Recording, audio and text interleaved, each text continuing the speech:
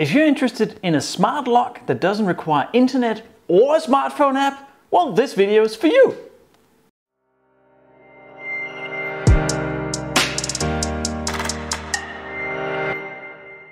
I'm going to start with a little story. Now, when you start doing videos in earnest on YouTube, like I have for the past couple of years, companies sometimes start noticing. So they send you emails going, hey, would you like to try our free whatever thing? I did one of those videos with a, a light box thing that goes behind the TV and illuminates the edges of the TV. I didn't know what that was, so sure. And sometimes product comes along that you didn't expect, and this is one of them. So about a year ago, Brad from Stick Labs sent me an email going, hey, I understand that you normally don't reply to all these emails that come in, but hey, maybe this will interest you. And I know it's a lot to ask for a review of this, but hey, if you're interested, right? And there was a nice way of going about it. I appreciate that very much when people go, I'm not gonna expect you to do everything for me, but if you'd like, here's some stuff. I said, yep, sure, I'm interested in your smart lock and we'll get to what these are and why they're so interesting. I didn't hear anything for about four or five months. And then I get another email from Brad going, hey, I'm really sorry, I haven't been back uh, with anything for you, but I realized I wanted to make it absolutely as best as I could. I wanted to make this right. So I took it all off, I redid everything, and now I'm sort of ready. And then another few months went past, and Brad went, all right, I think we're good. Can I send this to you now? So here we are. And it's just Brad. I think there's three people in Labs, I'm not sure, but I appreciate small companies that have an idea that want to do something different. And this is very much it. So it's called Stick Labs because they specialize in sticker solutions with stickers, and we'll get to what that means in terms of smart locks. Um, but I also appreciate good quality items. I really like, for example, my Philips Hue lights. I use them all the time because the quality is so good. Like I don't have to worry about them once I've set them up because I know they're gonna work. It's the same with my UniFi stuff. All of my UniFi stuff is, apart from like one door card reader here, has just worked. I never do anything to them. I don't maintain them. Some, most of it sits outside. Um, the stuff that sits inside just runs all the time. I don't have to worry. I appreciate good quality, whether it's from large or small companies. But I also appreciate new and interesting ideas. And this is one of them. Mm, I know. So these are smart locks from Stick Labs, and let me explain to you what they do, what I think they do.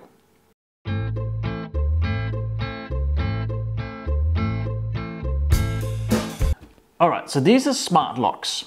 Um, and when I hear smart locks, I think of uh, a lock that I can open with my app, I can open it remotely, I can check who's been in and out. There might be a pin pad on it. There's usually a, a key for when, you know, if the power goes, they're internet connected, um, all those things. And pretty much these are none of those, apart from the key, there is a key for it. So the idea with these, these locks work with NFC or stickers, so NFC stickers. And the idea is that you have, you know, something like this, a master uh, which you tap on the lock and add and remove, and that's how you add and remove users. Very simple. These are 3D printed. A lot of it is, and it's quite neat. And Brad also sent me a whole book of various stickers and things that and how it all works. So we'll work through that as well a little bit later in the video. But let me show you why I like these at first sight. So I'm just gonna take one out here.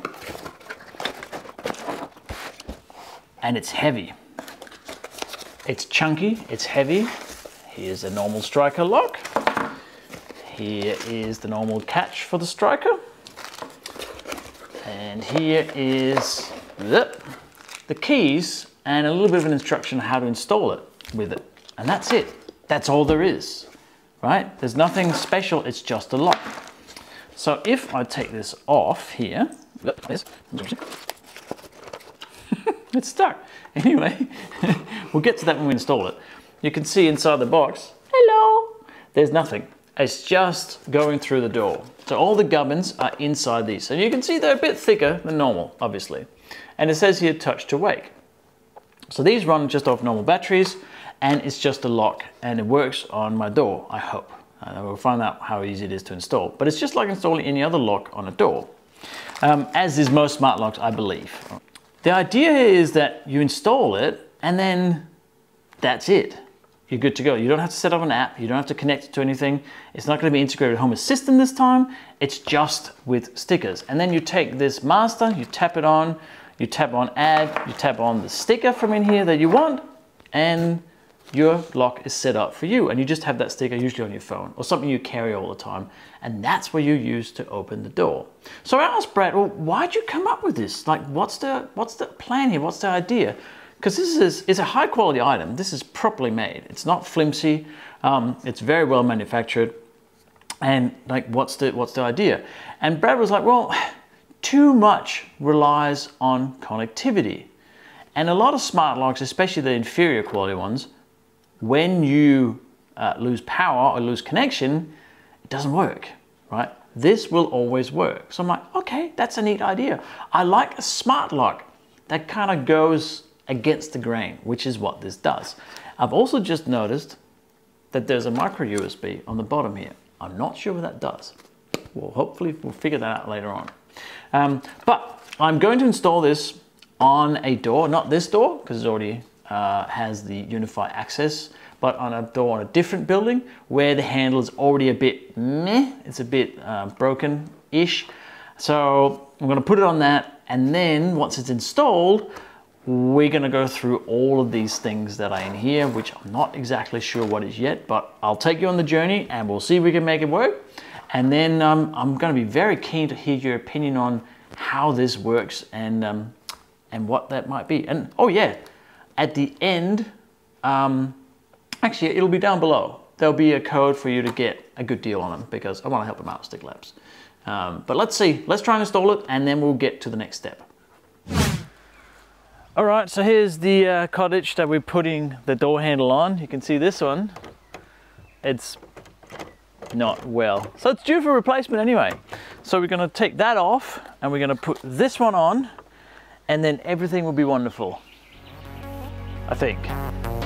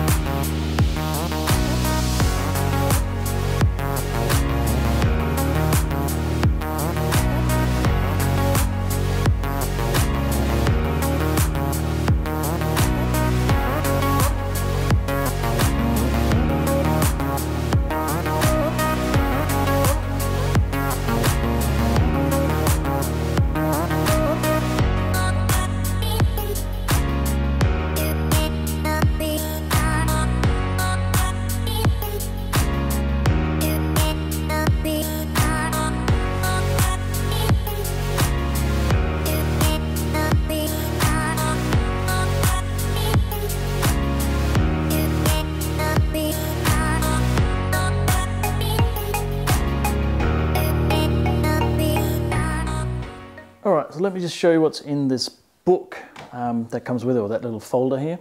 So we got the three master add remove. I'll explain to you in just a minute what they do. In the book, there's a, well, there's a logo. But what this has, it has some instructions on how to add and remove the access. So it's touching on the lock with the master, then with the add, and then a sticker. And I'll show you just in a second how we set that up and how to remove them as well. Then there's some timed unlock and lock. I haven't got these particular uh, tags for 12 hour unlock and lock, but you can get those as well from Stick Labs. And then there's a battery sensor that you can uh, tap on and figure out how much battery is left on the lock as well. I do have that one. It's at the back here, right there. See it here. So that's the one there, you can see that.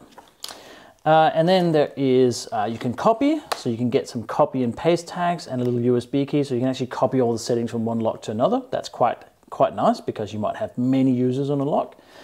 And then there's some uh, frequently asked questions. You know, why is it blinking blue? Well, it's because we haven't assigned anything. That's what it's doing right now. It's actually blinking blue. And you can reset the lock. And then you can uh, add multiple master sticks. You can check if an admin sticker has access to a lock. Um, and you change batteries. Um, that's probably the only thing I'm a bit surprised about. If you take the batteries out, which will happen because it runs out of power, then you will factory reset the lock, it seems. So I'm not entirely sure about that, but it, that's what it seems like. And then we have all the user stickers here. So there's eight here, which are meant for phones and metal surfaces. And so those, the stickers, the way they work is that you have a sticker here, which is the user sticker. The idea is that you don't have an app, obviously, for this or anything. So you write a name here. So say you wrote Lars here, that would be my sticker for the lock. And the other side has an admin sticker. This matches or is a pair with that sticker. So these come together. That's why they're on the same card.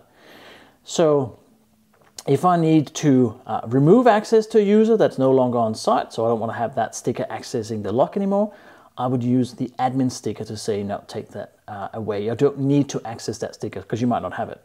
And similarly, if you want to grant access to a lock, well, you can use the admin sticker to grant that uh, access to that lock without needing the user to be present. So it's quite neat. So, so they, they come in pairs.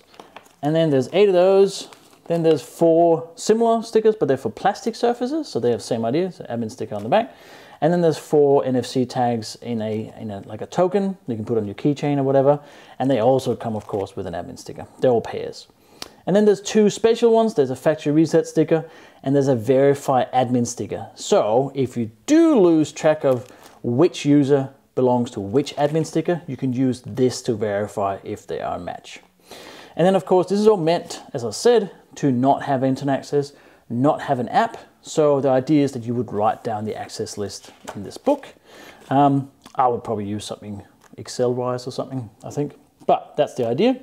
Uh, you can write down who has access to what door. So that's the idea. And then that's it. That's all there is in the book. So let's set up a user first using these token and a user sticker. All right, so let's try and add one of the stickers to the lock. So I've got the three um, keys. Are they called keys? Sticks. Sticks from the Stick Lab, I guess. Um, and first off, you can see that it's blinking blue here. If it's not blinking blue, you just touch it to wake. You, with your stickers, you always have to touch it to wake it up. It's probably, I would guess, to save battery, yeah? But I'm gonna touch the master. Touch it there, now it wakes up. Touch the master, see it flashes more blue. I'm gonna touch add. Ooh, was I quick enough? I'm not sure. Let's just try again. There we go, yep. See it goes green, it's green now. And then I touch the sticker, and that should be it. Okay, so now it's locked. Let's see if it worked. I touch the sticker, so that little sticker is right there. Door is open. That's simple. That's the first time I did it, by the way. Haven't cheated, and then locks again. That's it, so now it's locked again. As soon as it locks, uh, closes. And similarly, if you want to remove it, you know, you tap the master, always tap the master, and it goes blue, you can see there. And then you tap red, and it should probably go, uh, I oh, say remove, and it goes red up there. And then I'll tap that, and that should be it. So now if I tap the sticker again, it goes red. No opening. That is super simple. That's really simple actually. Now I can also, if so, say I'm going to put this sticker on my phone, which is right here. So I'm going to add that to the back of my phone up here. That's the idea. Something you always carry, which is usually a phone, right? There it sits. And I suspect that this sticker is going to last forever. We'll see. I can't tell you that right now, obviously.